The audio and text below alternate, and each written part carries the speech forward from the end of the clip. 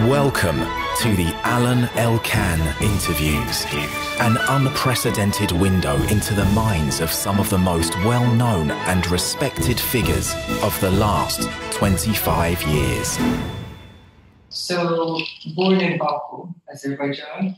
So, my uncle was, I never met him, but he was the first one who created a, a gallery, who put, who put together a gallery in Baku during Soviet times it closed down, but I think he was very much in touch with the, you know, local scene. With my immediate family, my parents, my mother's a doctor, my father is in aviation. I guess I was exposed to art just with within the family, but not to say, you know, I come from a family of significant collectors or, or always, you know, my parents have always been supportive, let's say, of the creatives in Azerbaijan, but it, it wasn't necessarily I, I, haven't really kind of grew up in it, let's say. So born in Baku, and, and uh, we moved to Istanbul when I was six. So my first grade at school, when we, me and my sister went uh, in in Turkey to a British school. So I started. I picked up English in in Turkey through our schooling, and then at home I'd speak in Russian. So we had we had this kind of diary you know, not dichotomy, but dual language kind of upbringing. You stayed in Turkey until what age? So we stayed till 99. So I was 12 or 13. We would spend our summers back in Baku. My father was already at a job there in, in Baku when we were still in, in Istanbul. So every holiday we would go to Istanbul, we'd see him. And on one of those holidays, there was a big earthquake in Turkey in 99 and my mother said, you know, took the golden opportunity and basically decided to, come back to Baku for good. So we spent in Baku a few years. And then my sister got a position here in uh, a, a university. She applied for university, moved here, and then a year later I moved with her. And since then, I did my high school here. I did. Um, I studied international relations at London School of Economics. So I was always again interested in art, but at some point I was I was taking art classes myself. I did art for my A levels. So for a few years while I was studying, I was um, trying to understand how what it is I'm going to do, how I'm going to get into this kind of world, and what would be useful, what I can, you know, where I can learn, where I can grow, etc. And so as soon as I graduated, I worked at Sotheby's in, in the client development department. Then I worked at a commercial gallery doing the PR, and then quickly I understood that it's it's something that I definitely would want to not explore, but be more active in the business side of things. I thought there are too many artists out there, good artists, and I, I mean, it was you know I wasn't that serious about taking myself or developing in a way my my artistic practice as as, as an artist myself. I thought I would rather be I'd be more helpful to supporting artists who who again haven't been recognized yet, haven't been promoted yet, haven't been worked with yet. And because I guess of that thinking, I ended up being more involved and conversing more with artists who were younger, more mid-career, more, you know, again, un, not unrecognized, but yeah, that let's say the market hasn't caught up with what they have been doing artists from where? Artists from all over. So when I started doing the exhibitions here, already under the, the gallery's name, so we first did these pop-up shows, and then these pop-up shows led to the opening of the space. Curatorially, it was all linked. Um, one show would lead to the next. In a sense, it was exploring the five elements, you know, so fire, earth, water. And when you started, you started with pop-up shows. That's right. right. Yeah, in the same place. No, no, no. In, in across London. So we had Belgravia, we had Shoreditch, we had a show in Paddington. So the idea, I guess, subconsciously for me, it was trying to figure out an area, a neighborhood where I thought the gallery would work, or at least what we're trying to do with this gallery, where, where which neighborhood would work. You said that at the beginning you, you were somehow looking for artists who were not yet uh, first line. Exactly. Not that they were second class, but that they were not well known or they were not in important exhibitions mm-hmm. or in important uh, fairs or mm-hmm. Exactly. So who were these artists? The idea was to bring Azeri artists in, in a good mix of artists from all over the world. So for me, it wasn't my aim in a way was not to have an Azeri program exclusively an Azeri program here in London. It was more to bring in artists from that region into a, a kind of healthy dialogue with artists from all over. So I was very cautious at not becoming a regional gallery in a way, despite you know the advice that was given when we just started saying, look, you know, you're you're one of the few Azeris living here. You you you should be promoting Azerbaijani artists, etc. But I thought it was too narrow, limiting, and the longevity of it wasn't. I don't think it would have worked for a long time if you were to just focus on on, on Azeri artists. So as a result, the, the curation, the, the, the programming became yes, it makes it was all about the kind of the the thinking behind the show. So these five shows that we started with in different spaces around London was based on the kind of emotional drive. Um, it was artists were sourced through recent graduates, through books, through research, just general research that I did. And, and again, I wasn't looking at where these artists are from. I was just looking at what they were producing. Medium didn't matter, sculptural, paintings, digital works. It was a very diverse group of, well, group of artists. For me, again, the most important thing was that there would be consistency and continuity. With these pop-up shows, I, I was very aware that you know you, you found it's incredible to work in this way because you have the freedom of a different space each time, a different you know group of artists. But in my mind, it was always had to lead to a physical space, a permanent space where the gallery would become what it is. So when we opened the gallery in 2012, in, why is it called Gazelle? Gazelli, so it's from my my mother. She's uh, so she's she's a doctor. In '99, she opened Gazelli Cosmetics, which then went into Gazelli Limited, which then became Gazelli House. It's basically it's it's the first cosmetics company in in Azerbaijan that uses the ingredients of you know solely found in Azerbaijan. It's everything skincare, hair care, and she's expanded that into a concept where one works on their inner and outer appearance. It's the importance of growing as an individual, and of course, art and culture fits right in there. So she in Baku, she's got this center called Gazelli House, um, where you know one can spend almost a whole day there, from treatments to the galleries, part of that the, that kind of house that that. Um, so you use that's why you use the name. And so we because of that history that because in, in Baku Gazelli Art House, it didn't have a separate space, but initiatives, they were, it was around. What is Gazelli Art House? Gazelli Art House is the art branch of Gazelli, in a way, the Gazelli as a, as a, as a company. So Gazelli Art House in Baku was found in 2003. Not a physical space, but through that, there were a few exhibitions. So it was, it was founded before London? Yeah, absolutely, yeah, yeah, yeah.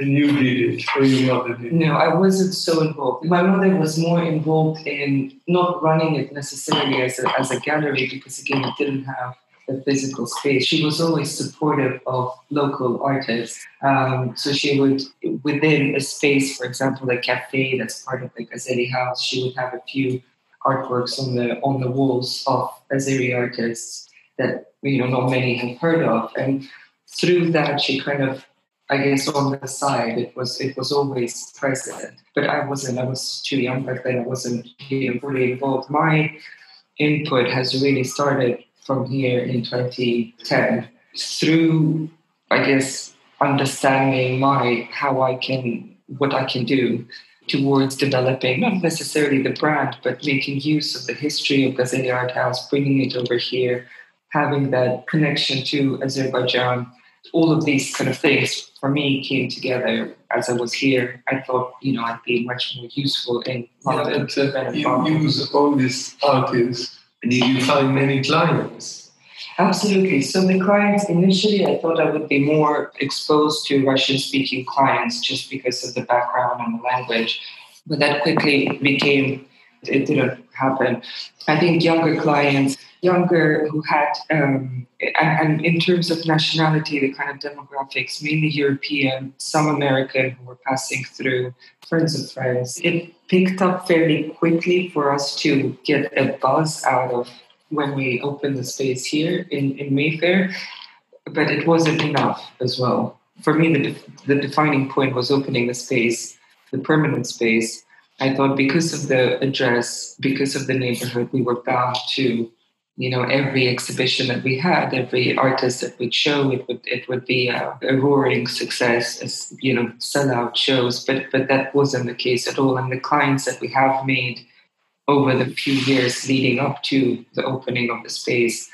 Of course, they supported us, but again, it, it wasn't enough. So I think for the first few years, there was a bit of a disconnect between this incredible space with Richard Green's history, the gallery that was here before we came. They were here for about 15, 20 years. They've got a space now right next to Sotheby's.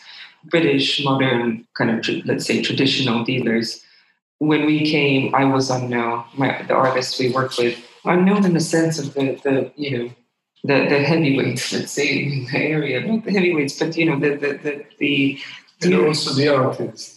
And the artists, absolutely. The artists haven't been shown in galleries. They've had some exposure, absolutely, in some group shows and museums or what have you, but but they weren't. They didn't have a, a market, let's say, or an active market. So wasn't it a bit uh, pretentious, risky to be next to the Thaddaeus Ropac Gallery or Robilant or other galleries on that level, just with unknown, you being unknown and, and artists unknown. For sure, pretentious, hopefully not. But for me, but that's the thing. It was more, I think, this youthful naivety. You know that oh, they need to. Uh, but then what happened? We, Are you now accepted? in the neighborhood. Yeah. I mean, I think because Thaddaeus Ropac opened after we opened here, and this is Werner as well. So it was interesting because we, we had this, um, it was definitely an untraditional start for sure.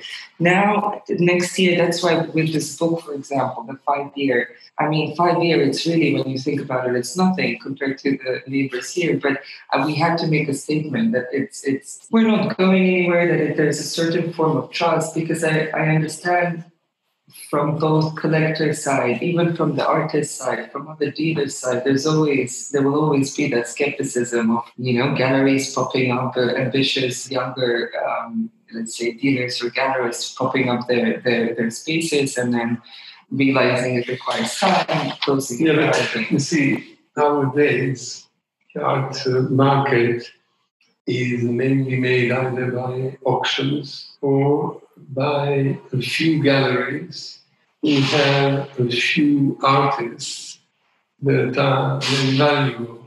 You take the example of Adams, he has Kisha, he has Nazareth, he has no, no, I don't. Uh, mm. you know, important artists which are becoming or are very well known. Who is buying less known artists? So the, the idea, I mean, for, for us with, with the clients that we've, I guess, amassed, right, over the past few years, we've, we've slightly moved on from the demographic we had back in 2011 with these pop-up shows in a sense. We moved onwards in terms of the, the client base. Back then, it was the more younger buyers who were buying at a certain level, and you know, happy to say, let's take the, take a take a risk. They like the works, they they bought the works, and that was the end of it.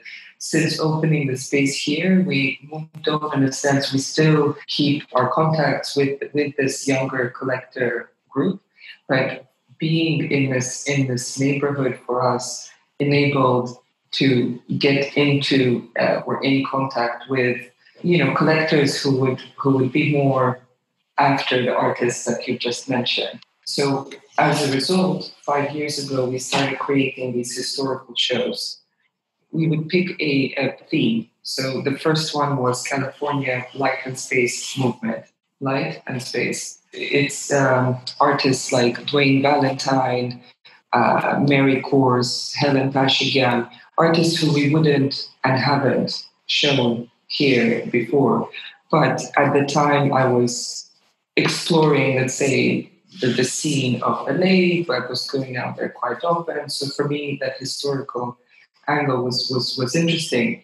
So we brought them in, we brought these works, these artists here, and slowly we realized that this is again was a natural fit for the space here for the neighbors. That that's the that was the expectation, and that's the expectation of the walk-ins. Let's say expectations of people walking down Cork Street, Bond Street, River Street. So I understood for the new kind of works to be appreciated, the new artists to be appreciated, we need to absolutely have at least one show of the program with the more recognized names. It would work well for us in terms of sales. It would work well for us in terms of meeting people that we otherwise wouldn't meet. As a result, the program became very diverse. It became maybe too diverse for some because there have been conversations I overheard where the gallery has been, you know, pe- people weren't quite sure what we're standing for. Is it contemporary? Is it traditional? Are we doing primary? Are we doing secondary market? But to be honest, I didn't mind that. I still don't mind that because for us, it's the, the movement and the that diversity is what's exciting, is what I think is supposed to be. You know, galleries I think shouldn't be necessarily pigeonholed either. They do something with very young artists in outskirts of central London. Absolutely, I think personally, for, for me at least, for us, for our let's what about mission. You still have a gallery in Baku? Right? Yeah, so the Baku was reopened in 2012. I thought again in my uh, kind of stupid naivety, I thought, ah, it's okay. my parents are there. We've got a, a good network of people. It will work very well. We all we need to do is have a space, and we can almost mirror the program that's happening in London. So for two years, we started bringing contemporary, quite conceptual young artists.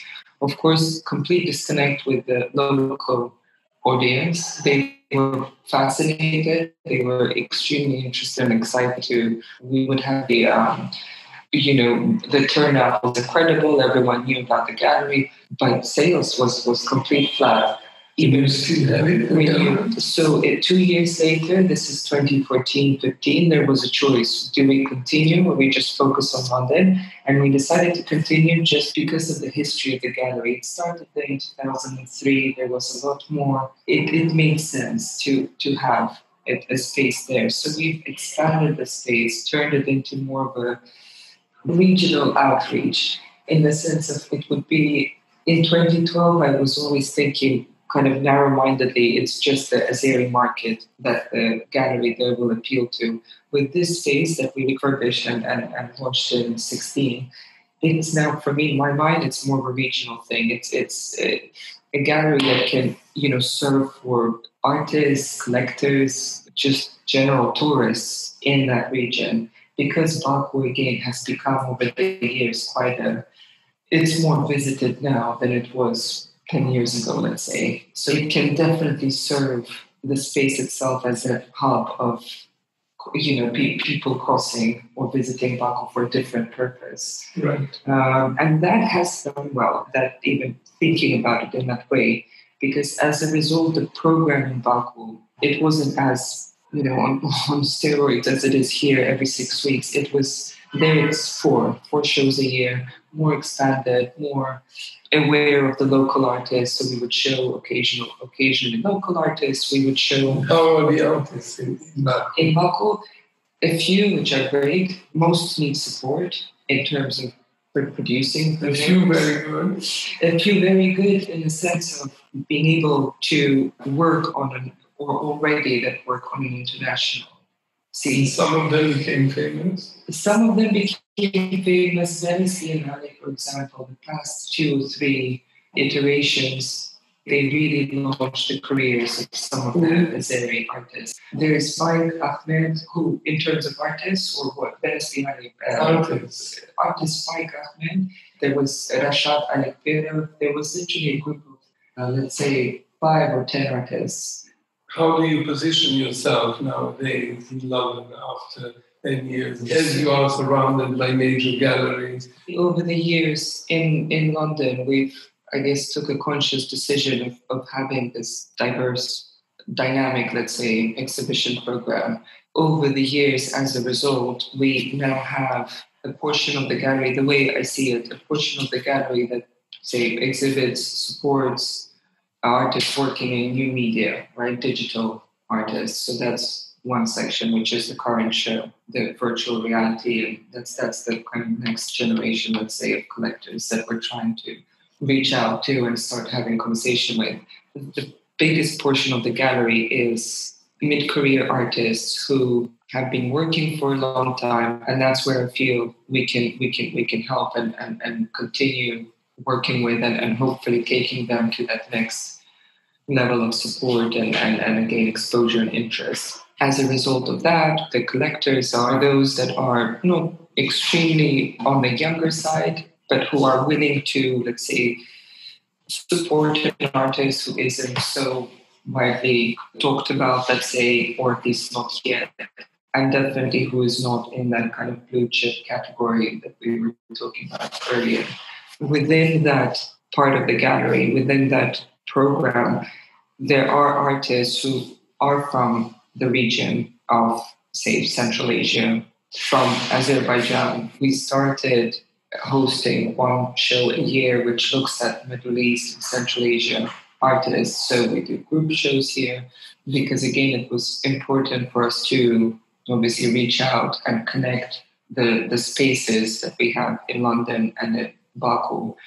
So that's the big chunk of the gallery. These artists, whether Azerbaijan, Lebanon, Central Asia, and so on, are probably less well known in Europe. So this is a way to, to make them known. And this has been interesting for young people, for not only young, not only young. not only young. No, no, no. This, these these shows we've only recently started doing them, maybe three years ago. These group shows some of them are, have museum already exposure. Let's say they've put on exhibitions of these artists here. But from the collector's side, so, so a lot of curators would come. A lot of museum, museum curators would come for these shows. Collectors wise, there are either expats from these countries that are based here and obviously are supporting the, the artists or you know collectors who've already had some kind of for whatever reason started supporting artists from that region already but that region it's mainly you know iran turkey well lebanon as well and instead in baku I mean, this is what you show in London. You don't show this in Baku. Exactly. So originally in 2016, when we reopened the bigger regional space, let's say, in Baku? Uh, in Baku. It's it's nine thousand square feet. It's a very significant space. I thought it was the perfect time, place to start working with other galleries, with other artists that we would normally not work with here, and show them in in the space in Baku. Because for most of these galleries and dealers and artists, they wouldn't necessarily think of Baku as a potential Is space. enough. I mean, what is that? Baku is a big city, very wealthy because of the oil. Oh yeah, yes, exactly. So Baku is probably uh, now very close to Russia. What exists in Baku? Uh, the bourgeoisie or people who have a lot of money who live there and come to the exhibitions. Yeah, so Azerbaijan generally quiet. It's incredible how it's managed, but it's close to Russia, but not too close. It's in in terms of the, the geographic. I think geographically, it's in such an incredible location because it has all these incredible powers around it.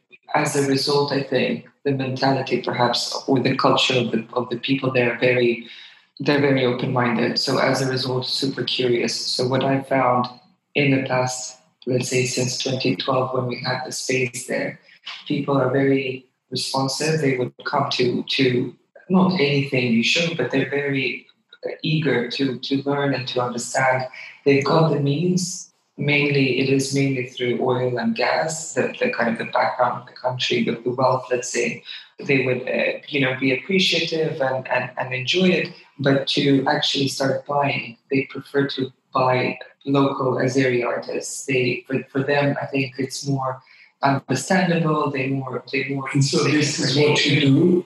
We started featuring more of local artists, Azeri artists.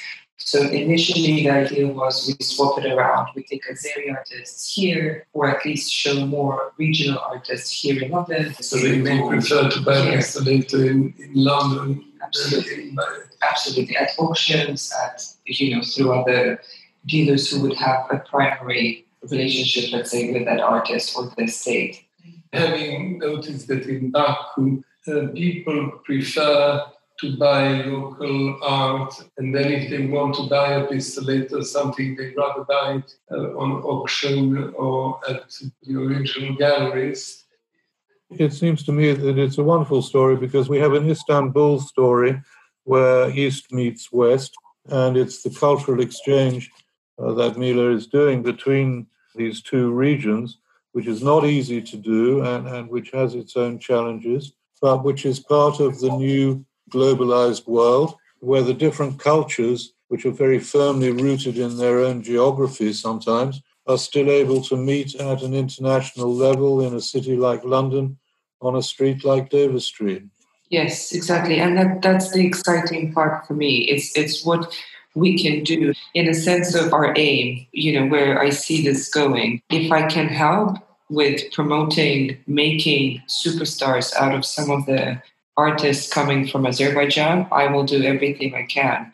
I was shying away from it at the beginning here because it's a very short lived life for a gallery to be specialized in one or another region. And even here, I think there were a couple of galleries that opened up while we were already open. And very soon they were specialized in Iranian art. It's a very interesting region. I'm sure that there are quite a few collectors and supporters who would make these exhibitions for us financially make sense. But still, to base your whole program as a gallery on artists from that region, it might be quite risky for me, even more risky than having this dynamic exhibition program in the middle Who are the well known Western artists that you work with? So generally, we had these the, the, historical shows we've been putting on. We've shown works by Bridget Riley, Sam Francis in London, at least. There's been a big focus on the 60s and 70s British modern kind of abstract expressionist period. Just now, over the summer during lockdown, our first show. So we've opened actually an exhibition here in London with two Azerbaijani masters, one who's no longer alive, who's never been shown in London before, called Ashraf Murad. Mm-hmm. The other artist who's he's in his 70s, he's again a very notable artist in in Azerbaijan. He's been exhibited in London a couple of times, but never at the gallery. So we've opened this show in February, then lockdown happened. So again, as a result, there were a few promised visits by the curators from Tate, from British Museum, that were very excited to see the, the, the exhibition, but of course, it, it never happened. So when we reopened the space in June, the exhibition still continued for about a month or something. And then in July, we've opened the show that brought together Robert Motherwell, Sam Francis. There were about 10 or 15 artists we were looking at basically the development of abstract expressionists in US and in the UK. There were a few kind of names associated with that with that time frame that we didn't we haven't shown in the past.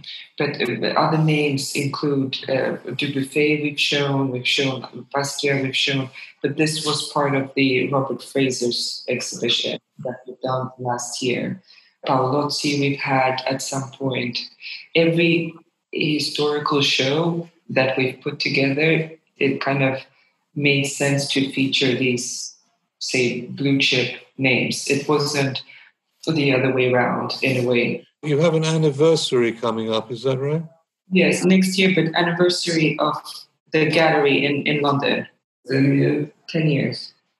With these artists, the Azeri artists, what range of price you sell for? So the two that we've had in the show that I've mentioned earlier ranges from say 20, 20 to 80, 100,000. The rest of the Azeri artists that we've shown and that we've worked with, it ranges even on the lower end from say 5 to 30, so very to 30,000, so very much kind of, let's say, affordable. Most of the artists that we represent falls within that kind of range comfortably from, say, 10,000 to 50,000.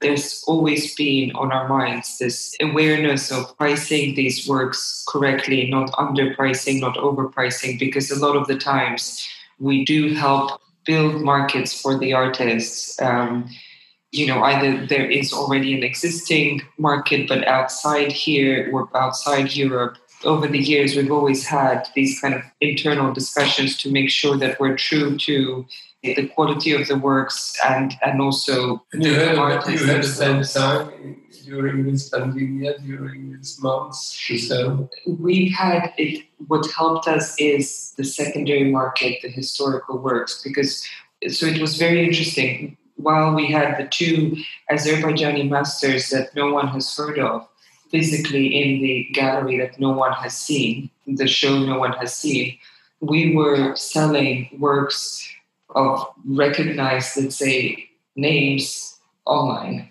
to collectors who we've dealt with before, who knew what they were looking for, who knew the artists that they were buying. So this, for me, it came all in, in, my mind. It all kind of became clear that this is, I guess, where what the next 10 years, five years, 10 years looks like. It's in the physical space. You know, we still continue showing works we still continue supporting artists that maybe aren't your household names, whether they're from Azerbaijan or they're from US or wherever they're from.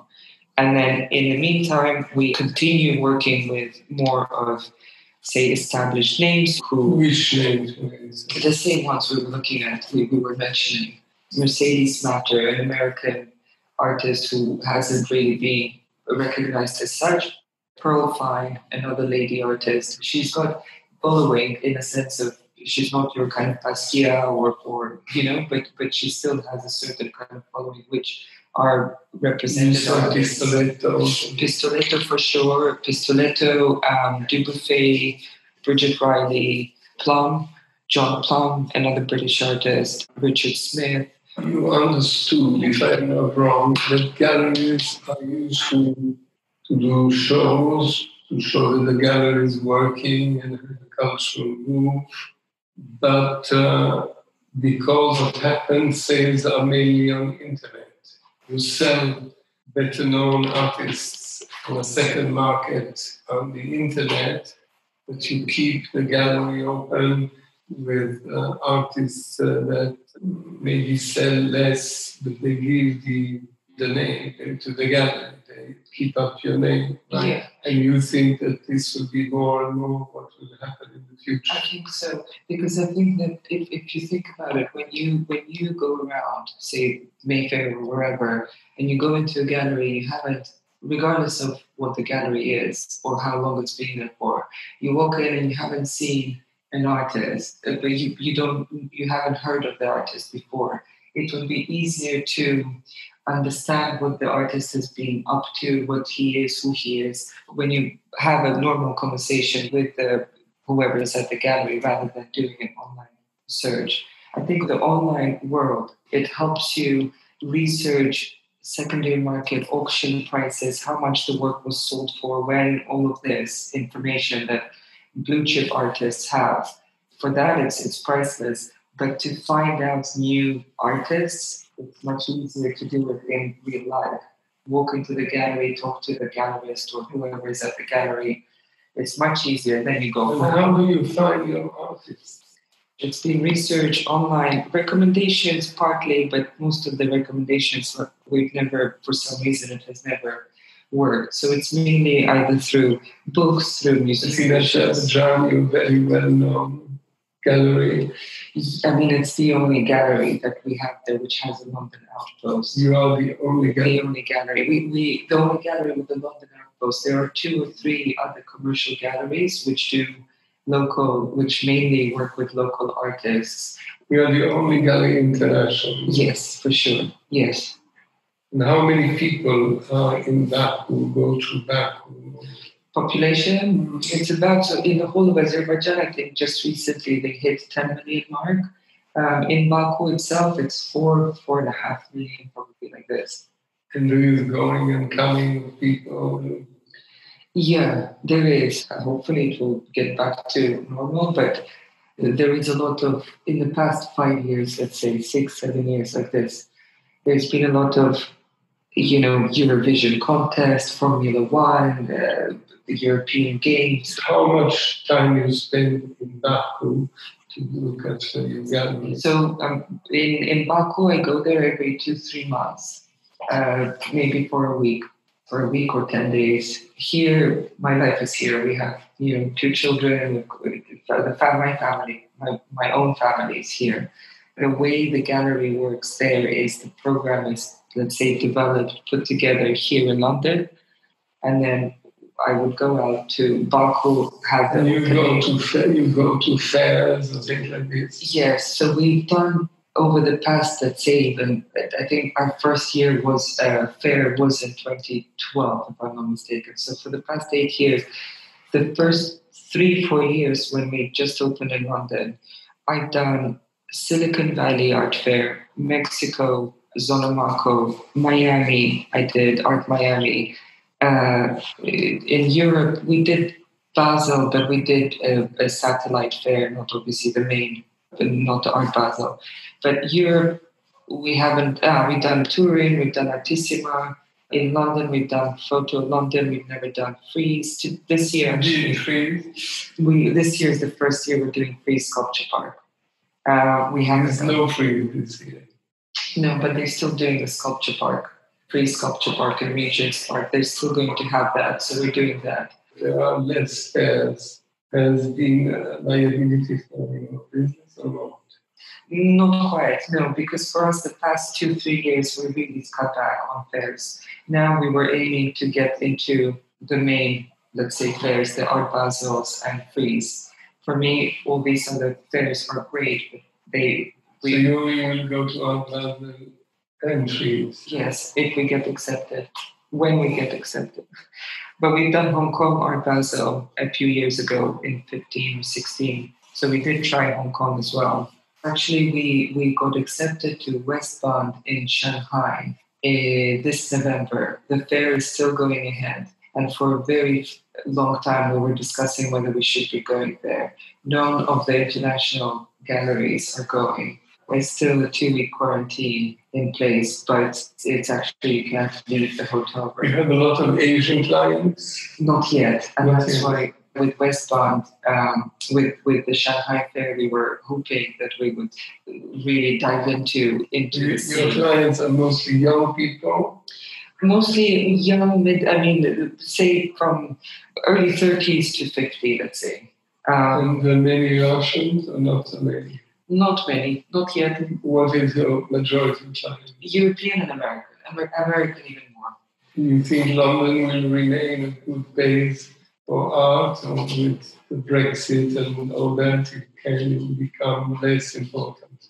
It can't. It can't become less important. Mm-hmm. It, can, it cannot. No, it can't become less important. It might change in terms of the exhibitions. And you think that the internet sales are going to become something really important. In other words, people want to buy without seeing the real piece. I think it will become important, but it won't replace the physical space. What a physical space serves to showing an artwork, an artist, an exhibition, none of the digital platforms, virtual reality kind of spaces, etc. None of that will ever replace, I don't think, the need for a physical space.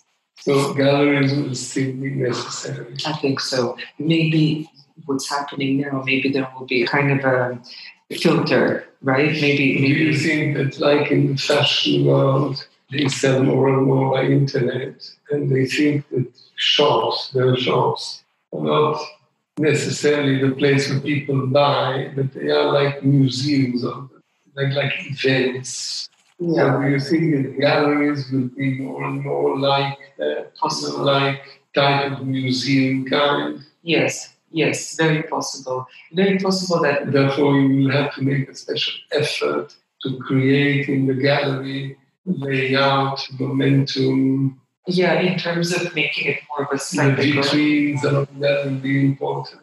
Yes, yes, yes, for sure. I think so because I think even even when, when people come in to see the exhibitions, they wouldn't necessarily buy there and then. They would go back and there's a dialogue. At least that's been our experience since opening here.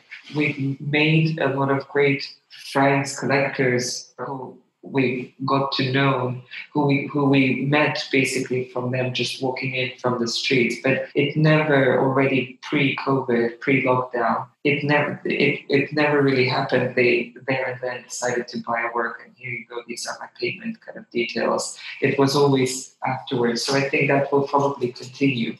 Being um, from azerbaijan being a woman was it more difficult to be accepted in the world of the art dealers in London, all over the world?